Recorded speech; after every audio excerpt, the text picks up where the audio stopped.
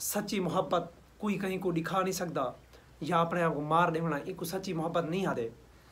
खुदा दी कसम है खुदा गवाह इमरान खान दे नाल सबको सच्चा प्यार मोहब्बत आ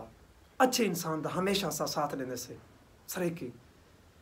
जेरे बिरा को तकलीफ थी होए दुख थिया हो इमरान इमरान खान दे लाहन दा कोशिश कर सो वीडियो को वायरल करे सो और लाइक फॉलो तोरा दिल आके करना ज़रूरी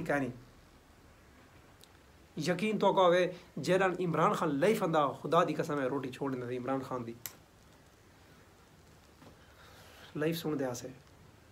ਦੋਸਤੋ, ਯਕੀਨ ਤੋਂ ਹੋਵੇ ਜ਼ਿੰਦਗੀ ਦੇ ਅਸਾਂ ਵੱਡੇ ਦੁੱਖ ਡਿਠੇ ਸੇ, ਲੇਕਿਨ ਇਹ ਦੁੱਖ ਸਾਨੂੰ ਕਦੀ ਨਾ ਭੁੱਲਸੀ ਅੱਛੇ ਇਨਸਾਨ ਦੀ ਕਦਰ ਕਰਨੀ ਚਾਹੀਦੀ ਹੈ। ਖੁਦਾ ਦੀ ਕਸਮ ਹੈ, ਜਿਹੜੇ ਇਨਸਾਨ ਅੱਜ ਬਦਲੇ ਵਦਨ ਬੇਈਮਾਨ ਥਾਇ ਵਦਨ ਪੈਸਾ ਘੰਤ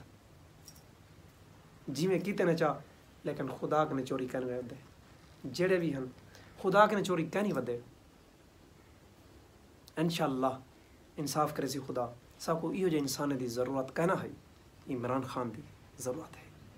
हमेशा रासी सारी इतना उम्र थी गई लेकिन असा नहीं ॾिठा इहो जा इंसान बिल्कुलु खरी ॻाल्हि करने इन ॻाल्हि सुन ख़ुदा जी कसम मज़ा आवेंदे मरदे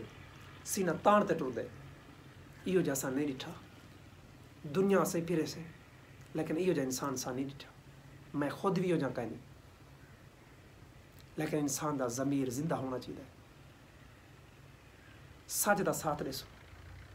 ਕੂੜ ਦੇ ਮੂੰਹ ਧੂੜ ਹੈ ਦਿਲ 'ਚ ਹੈ ਸੱਚ ਗਲੀ ਬਦਾਨਾ 'ਚ ਇਹ ਇਨਸਾਨ ਸੱਚਾ ਹੈ ਹਮੇਸ਼ਾ ਅਸਾਂ ਇਹਦੇ ਨਾਲ ਰਸ ਜੇ ਤਣੀ ਸਾਡੇ ਅੰਦਰ ਸਾਹ ਹੈ ਇਨਸ਼ਾਅੱਲਾ ਇਹ ਵੀਡੀਓ ਮੇਰੀ ਦੇਖਿਨ ਸੋ